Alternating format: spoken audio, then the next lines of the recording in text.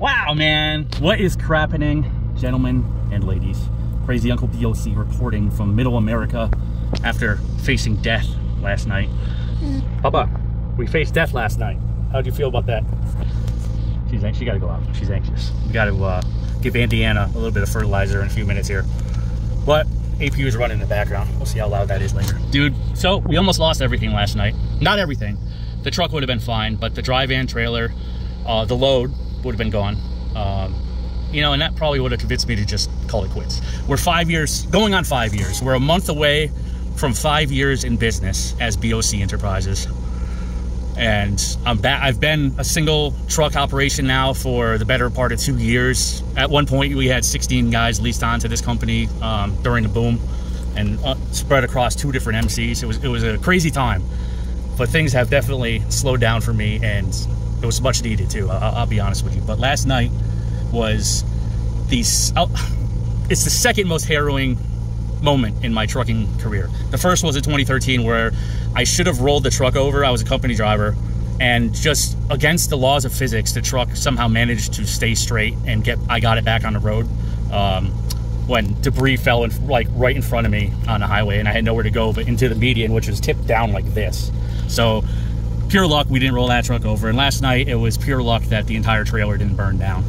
And 100% caused by driver error. I me. I completely inattentive, not paying attention. It was like 9:30 at night, rolling through Ohio, uh, about 30 miles east of uh, Cleveland, and I noticed like the truck had been sluggish. I had just left from um, a welcome center in PA. That was the last time I had stopped. So you're talking probably about 70 miles, 60 miles or so, and after I got into Ohio, I noticed that I was having issues like climbing hills and, and stuff, and the truck was sluggish. But I just chalked it up to uh, the fuel filter, the water separator has to be changed out every every single time it rains the day after.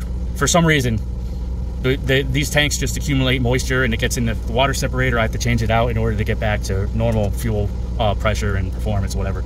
So I thought it was that, and I would check it when I went to get fuel in Toledo. That was where I was planning on stopping and like the road was relatively like nobody was on it. And it was dark there's no lights. So you know just by blind luck i came up to pass this car. And finally when i got to see headlights in the back and i, I was just jamming music just fucking you know loud loud loud loud late night rolling. And i couldn't i couldn't really hear much.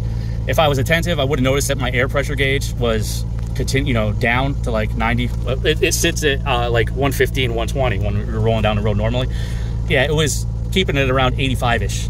And I would have, if I had the music down, I would have actually heard the air pressure notice, the noise going through the valves, right? Like when you have a leak, you could hear it in the cab um, on, on the uh, air pressure valve over here. So it, this had been the first time I took this dry van out in about a year and a half, a little bit lo longer than that, about a year. I hadn't driven it, uh, used it since. I, I, did some bottled water last summer. Um, and I decided to go back to dry van freight, you know, for the month anyway, temporarily. My renewal comes up next year or next month, uh, first week of June, on both uh, IRP and the authority renewal or insurance. Sorry, not the authority. Um, so I was going to take this month to decide if I really wanted to keep doing this or not, or find something else to do in my life than own a trucking company. So I'm stupid. That's the bottom line. I had a massive air leak. What ended up happening was the spring that holds up the tandem the tandem slidable uh, air hoses, that, that whole kit with three lines going back to the tandems, uh, you know, it slides and then it expands, right? They, they allow an extra six feet of hose there so you can actually slide your tandems back. Uh, the spring that held it up had broken, and I had been dragging that long enough to create a hole in uh, a fitting that was there on one of the on one of the um, hoses, and uh, second hose had uh, like ground almost all the way through. So what ended up happening, long story short, it's ridiculously long, I'm sorry, but this is one of the most ridiculous things that ever happened to me. Um, I couldn't see anything until that car, and as soon as I passed the car, they just jammed right back around, and they were waving me down, flagged me. And when I when I was looking, they flashed their lights. I saw all this fucking smoke behind me, like just billows and billows of smoke. I'm like, oh my god, dude, my truck's on fire. And that that I immediately snapped. I'm like, okay, that's why it's so sluggish. I look at the the psi gauge, and I'm like, yep, I'm, I'm losing air the brakes must have been rubbing or whatever. We got a brake fire. So pull over, uh, jam back to take to see what the hell's going on at my flashlight and everything. And like I, have been in like a real rut for the past two years, like no killer instinct, not feeling like a savage at all, not doing anything correctly, um, you know, to further my life or anything like that. And for the first time, faced with a threat like that and that adrenaline rush that was required to kind of sort through that situation, uh, I almost felt alive again. I mean, I, actually, I did. I, I literally felt alive again. I, I felt that there was a reason to continue living and to keep, like, actually try and, uh, you know, just keep going because it's been bad. It's been hard for me for the past two years. You know what I'm saying? So I've been through a lot of mental problems. Well, not really problems, but just whatever. You know, not 100% sure what I was doing. I'm going to be 45 this year, whatever. So jam pack, flashlight. The first thing I see is flames on the front right tandem on the driver's side. I'm like, ah, motherfucker. So I got to run back up to the cab. I have my fire extinguisher, um, you know, in the side compartment under the sleeper. So we'll uh, I had to grab that, grab the keys, open that, get the fire extinguisher, run back, get underneath the trailer, and it was smoking like on fire. The, the drums were red hot on uh, on the front, and what I would notice a little bit later, the drums were red hot on the right rear axle um, uh, on that wheel, that wheel hub. Those that drum was like super hot. Um, and I didn't even notice that one on fire because there was so much smoke until I put the first one out. And I go, I go, I, I kind of looked around like this when I was underneath, and that one it was bright red. It lit up the whole fucking, you know, it, it was basically lighting up darkness. So I get back and go, come back out onto the roadside, go around, sneak around, and get under there again. And the smoke is just billowing right into my face at this point. I don't have any other way to get access to that thing. And I sprayed the fire extinguisher again. The, the front one was put out, and uh, it put it out for about five seconds came back on, the, the fire came ignited again, and I, go to hit it again, I'm out of fire extinguisher. I'm like, and I know I have a five gallon bottle of water here in, in the cab that I can use. So it's pretty much blind luck that I've been carrying my own water with me, and uh, I, I, run back to the cab um, to grab this thing, and uh, you know, open it, whatever. Uh, actually, if you open that, it still smells like smoke and burning brakes. I, I must have gotten so much smoke in there, so now I, I can't use that for drinking water anymore. I, uh, I kept splashing it. Every five seconds, I would splash more, splash more onto the onto the drum until finally it cooled down and it, it stopped burning. And I had, uh, I was lucky enough to call the fire department on the, on a second way back. I grabbed my phone and my headset and said, you know, I don't know, I don't know if I can put the second one out. Uh, can you send the fire department, please? All right, so this is what the what the mechanic ended up having to do was splice out all the cut parts and put these couplings in on the uh, on the hoses. And like now I can't slide the tandems obviously there's not enough hose left. So that's gonna be a temporary problem. This is a temporary fix. When I get it back I'm just gonna have uh, my mechanic put a new hose in here. But yeah see this little because that this happened here cost me uh, a $700 roadside and almost lost the whole load because of the fire. This one held but you know like a professional driver who owns his own company for five years you would think I would be better at handling uh, preventative maintenance. But no, nope. My head was, has just not been in the game lately for trucking, dude. But I'll tell you, last night was a game changer for me. So, miraculously enough, we were after everything cooled down and the, the mechanic did this. I was really concerned I wasn't going to be able to actually run the truck again after that because I thought maybe the brake pads would seize to the drums or, or whatever. I got super lucky, man. Absolutely 100% lucky that none of this wheel seals burned out. Uh, no oil from the axles ignited in any way. Um, I checked all the everything. I checked all the hubs, um, and all the brakes still function.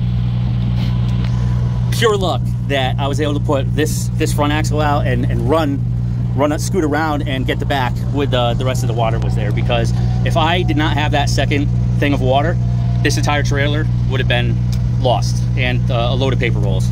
And I most likely would have just taken the license plate off, ripped off the, the VIN tag on the front of the trailer, unhooked, and drove away. I'm joking, but it crossed my mind afterwards. I'm like, what would you have done to, to fix stuff? So, you know, obviously you look at the condition of this trailer in general. I probably shouldn't even have bothered taking this thing. I, I don't know why I switched to dry van in the first place. It's a problem? You just went out just went out, yo. You you're admonishing me about my business decisions, taking this forever old trailer out without really doing too much of an inspection on it. Oh man, just laziness, pure laziness, slothful that caused this. And it's just a it's a real wake-up call, man. You know, just stupid, stupid mistake led to that thing where I could have all hell could have gone broken loose, you know. Um, you know, luckily there were, there were no like legal repercussions. The the fire department showed up and they left within about 20 minutes. They checked it and checked the temperature on everything, and it was okay. Nothing was on fire anymore, and it was cooling down. But it could have just gone way worse. So I don't know, man. I think I'm I'm, I'm dropping this trailer. I'm gonna go put it back. Maybe I'll have the brakes done, maybe not, because I don't really intend on running this again.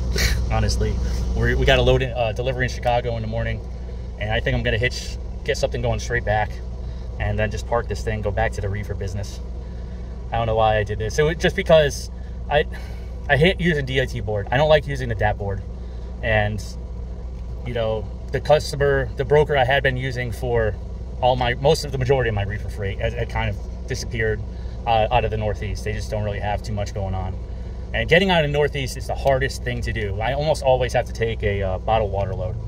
But we'll talk about that maybe in the future, what I decide to do. But I, I have convinced myself after this emergency situation that it all worked out somehow in the end. And I'm meant to continue doing this. Like, if everything had burned, uh, that would have been the sign to get out of the, the, the business entirely. Just sell, sell the trailer, sell the truck, go find something else to do because lose having that kind of uh, you know a tragedy occur would is the is the impetus I would have needed to just get out and, and go do something else. But I think it, it's my resolve has steeled since this, and uh, I'm going to recommit to making this work and uh, to keep rolling, keep rocking.